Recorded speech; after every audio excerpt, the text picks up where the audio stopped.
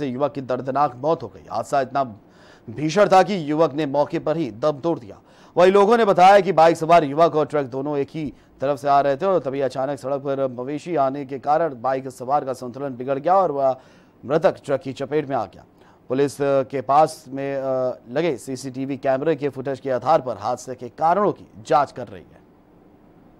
और वही दूसरी तरफ़ छिंदवाड़ा में बीते दो दिनों से लगातार हो रही। मूसलाधार बारिश से काफ़ी जनजीवन अस्त व्यस्त हो गया है। पुल और पुलियों के ऊपर से बाढ़ का पानी बहने से कई सड़कों का आवागमन भी पूरी तरह से बाधित हो गया है।